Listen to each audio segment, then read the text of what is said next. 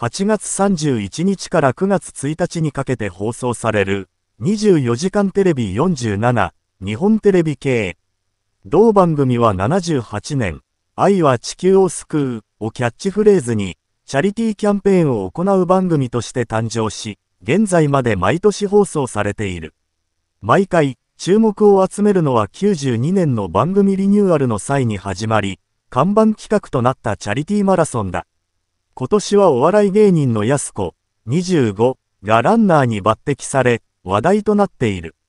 これまでもお笑い芸人のほか、女優やタレント、アイドル、スポーツ選手など、様々なジャンルの有名人がランナーに選出されてきた。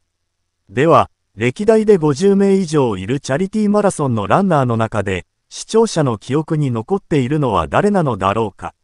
そこで本誌は、20代から70代の男女500人にアンケートを実施。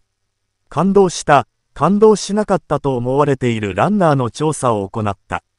本校では、感動しなかったランナーの調査結果を紹介する。徳光は80年から10年まで、24時間テレビの総合司会を務めていたが、11年に優退し、当時番組史上最高齢となる70歳でランナーに選ばれた。高齢ということに加えて、1年に急性心筋梗塞を発症していたこともあり、実際に徳光が走る姿を見て、感動よりも心配が勝ってしまった人が多かったようだ。ヒロミは昨年の放送でマラソンに挑戦したが、本人たっての希望で当日にランナーを務めることが発表された。おじさんにちなみ、102.3km を激走する中で、長男で俳優の小園亮、28、次男のとしきさんと並走する場面も。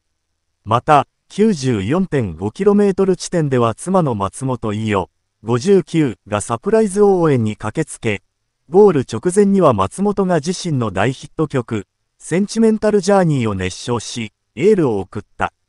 だが、こうした家族を巻き込んだ演出を冷めた目で見ていた人もいたようだ。続いて第2位は、12年の元プロレスラー佐々木健介、58、一家だ。佐々木は妻の北斗晶、57、と、長男の竹志助さん、次男の聖之助さんの家族4人でマラソンに挑戦し、初のリレー形式で 120km を完走した。佐々木と北斗が、長男の読み上げた、もしママが走れなくなったら、3人でママを助けに行くね。最後はみんなでゴールしようねという手紙で挑戦前から号泣するなど、例年以上に家族愛を強調する内容だったことが不評を買ったようだ。